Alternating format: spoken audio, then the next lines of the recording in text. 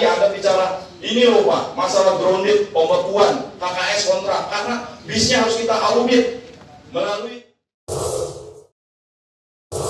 kejadian kecelakaan yang tahun ini sebanyak 275 kejadian sampai dengan Oktober ini bisa kita minimalisir bahkan kita hilangkan. Apakah sih kerjanya jam kerjanya akan diatur Bapak? Kalau selama ini satu satu delapan jam mungkin akan diperpendek begitu?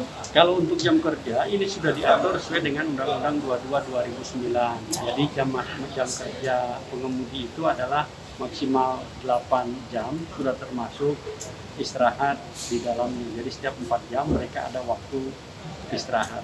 Tetapi pada saat melayani pelayanan koridor, tentu bisa juga pada perhentian terakhir, di halte terakhir, contohnya dari Blok M Kota, itu nanti kita akan upayakan pengemudi untuk uh, istirahat sejenak sambil menggerakkan badan. Ini nanti kita akan uh, bahas dengan rekan-rekan Transjakarta sehingga pada saat bus akan kembali melayani koridor, pengemudi dalam kondisi fresh untuk memberikan layanan. Apakah perlu dibikin Pak halte itu jelas-jelas itu ada ruang tunggu yang nyaman dan aman buat sopir, kemudian di pool diberi tempat istirahat atau mes begitu buat sopir atau Untuk seperti apa? seluruh pool saat ini sudah tersedia uh, ruang pengemudi ya, pramudi sudah ada. Tapi untuk kontrol mereka di dalam itu juga akan kita pertajam.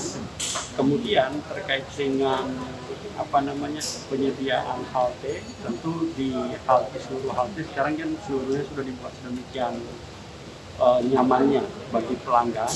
Tinggal bagaimana upaya kita agar pramudi ini selalu fit pada saat memulai bertugas itu satu. Kemudian seluruh pramudi Transjakarta itu sudah dilengkapi dengan yang namanya uh, sertifikat profesi yang dikeluarkan oleh PNSP setelah mereka melalui pelatihan yang namanya mendapatkan sertifikat pengemudi angkutan umum. Ya.